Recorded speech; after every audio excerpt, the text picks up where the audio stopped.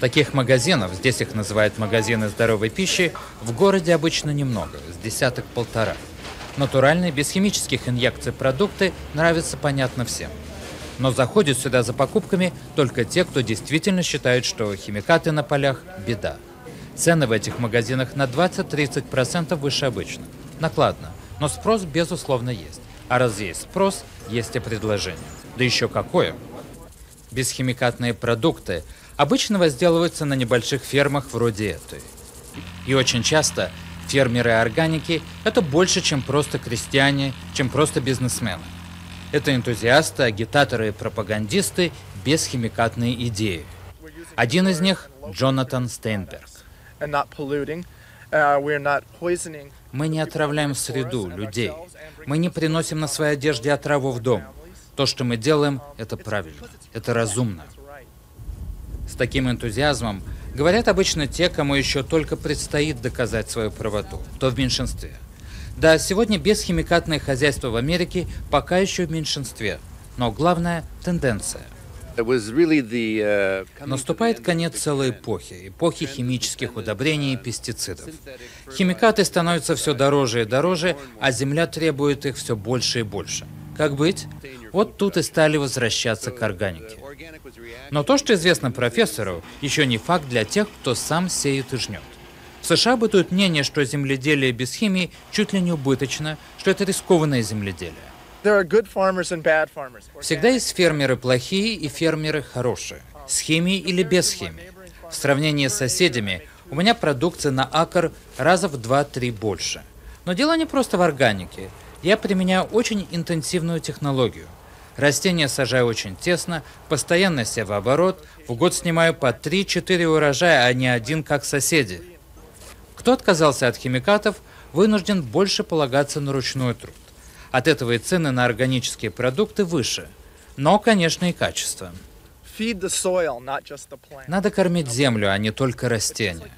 Это как и с людьми. Люди не могут жить только на витаминах. Им нужна хорошая пища. Сделайте землю здоровой, и вам не будут нужны химикаты. Это первое правило. А второе правило? Второе, надо наладить добрые отношения с людьми, которые на вас работают, чтобы без вреда здоровью, чтобы нормальная зарплата. На Джонатана работают 12 человек. Как и положено по закону, по 40 часов в неделю. Сверх того, за особую плату. Сам Джонатан от зари до темна в поле. А затем по вечерам ведет бухгалтерию. Здесь с этим строго. Не дай бог утаить что-то от государства. С каждого заработанного доллара должен быть уплачен налог. Но и совсем рано, еще до зари, у Джонатана полно дел – надо созвониться с магазинами, договориться, куда и сколько он должен в течение дня поставить продукции. Итак, 9-10 месяцев в году. Ну и сколько же зарабатывает за этот труд американский фермер Джонатан Стейнберг? В этом году я надеюсь получить то, что у нас в США называют средним доходом, ну, тысяч двадцать, двадцать пять. Столько здесь зарабатывают школьные учителя, секретарши в учреждениях, словом, только-только. Нет, надо в самом деле любить и знать землю, чтобы оставаться фермером. Однако Джонатан отнюдь не потомственный крестьянин. Напротив, из городской семьи. Откуда же все это? Я работал на других фермеров, сам арендовал небольшой участок, экспериментировал, учился на ошибках, читал книги, ходил на занятия.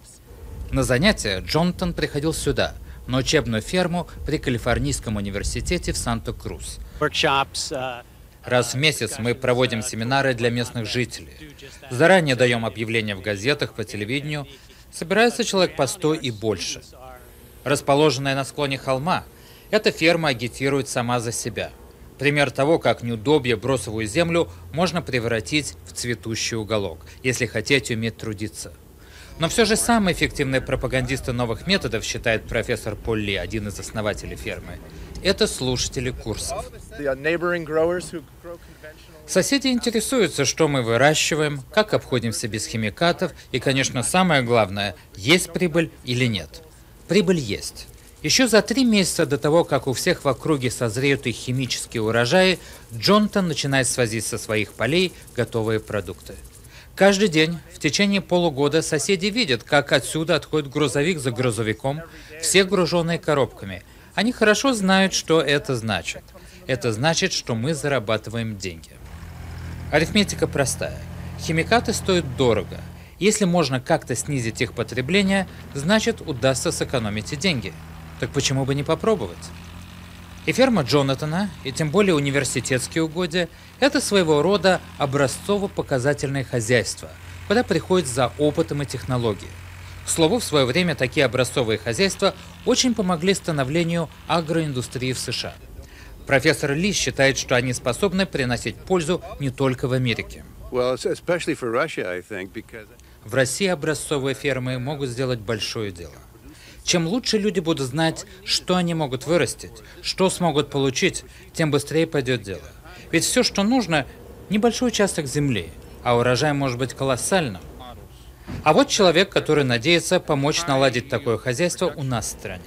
Нет, не для собственного дохода, а просто потому, что знает наши трудности. Мы хотим, чтобы русские работали вместе на одном поле с американцами, перенимая все, что мы умеем и знаем. Но у меня вопрос. Дадут ли ваши власти для этого землю? Допустим, землю дадут. Но только благих намерений мало. Нужны еще добровольцы, энтузиасты, чтобы на общественных началах поехать к нам, невзирая ни на что. Вот Джонатан. Готов ли на это он? Поеду хоть завтра. Когда вылетает самолет?